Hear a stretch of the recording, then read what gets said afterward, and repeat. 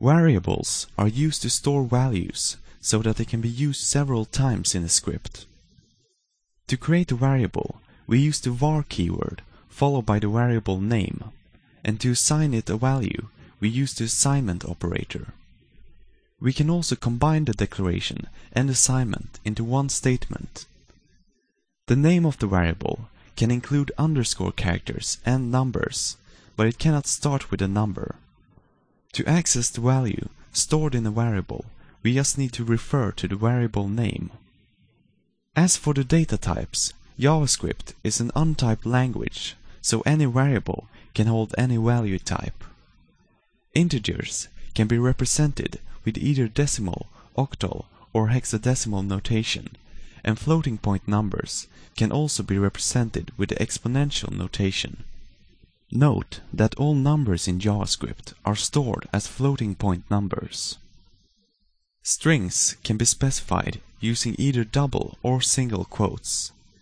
To break a line within a string, we must add a backslash, since a new line in JavaScript normally means the end of a statement. Backslash is also used as the escape character to add special characters to the string, such as new lines or quotes. For storing boolean values, the keywords true and false can be used, and for storing no value, there is the null keyword. This is different from leaving out the assignment. The variable then becomes undefined, which is equal to not a number for numbers, undefined for strings, and false when evaluated as a boolean.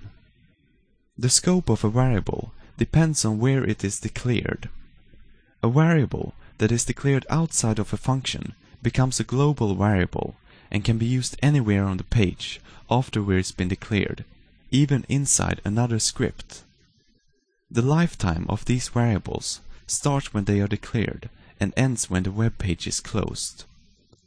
On the other hand, a variable declared inside of a function becomes a local variable.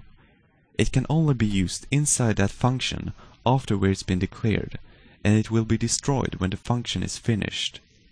A local variable can use the same name as a global variable and will thereby overshadow it for the duration of the function.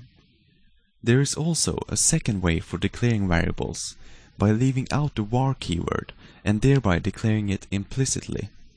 A variable declared like this will always become a global variable, even if it's declared within a function.